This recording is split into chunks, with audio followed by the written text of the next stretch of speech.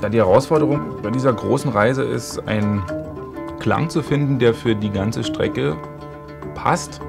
Und zwar jetzt nicht so von der Melodie her, sondern einen Klang zu entwickeln, der mit dem Team, was fährt, mitfährt, sodass, wenn man einen Teil guckt oder auch noch einen Teil mehr oder vielleicht sogar alle zehn tatsächlich, nicht das Gefühl hat, ähm, die, die Filme stehen musikalisch alle für sich und da könnten auch zehn verschiedene Leute was dafür geschrieben haben und jeder hat einen völlig anderen Klang, sondern dass man einen Klang entwickelt, der einen von Berlin bis nach Tokio mitnimmt.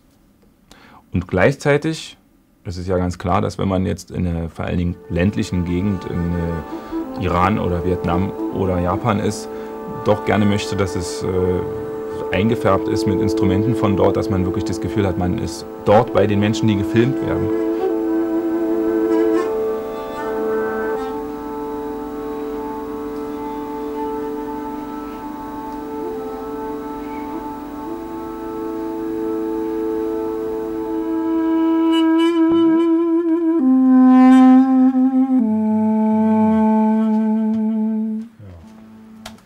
Ist okay?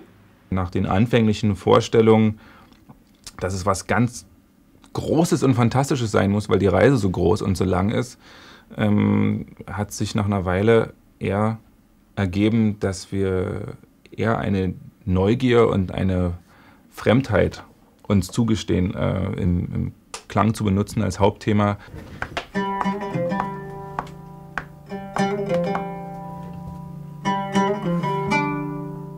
Das ist eigentlich ein ganz kleines Motiv, was man ja sofort wiedererkennen muss, auch wenn es nur ganz kurz läuft.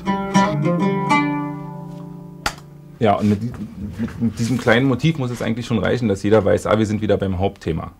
Und äh, das klingt für, glaube ich, unsere westeuropäischen Ohren erstmal sofort schon exotisch. Einerseits wegen des Instrumentes und auch wegen der Tonleiter, die da benutzt wird.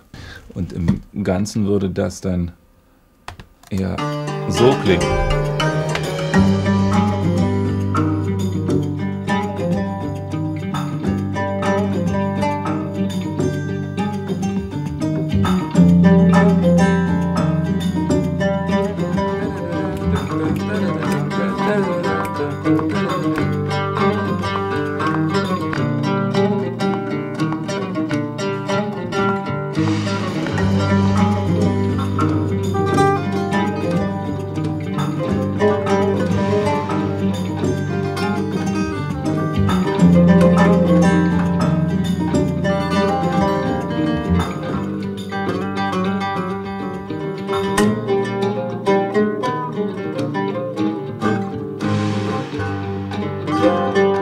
Am meisten Spaß macht mir zum Beispiel der heutige Tag, weil an, an dieser Stelle nacheinander all die Spuren, die ich nur mit dem Computer vorher erzeugen musste, tatsächlich gerade mit menschlichem Spielwillen und äh, Talent aufgefüllt werden.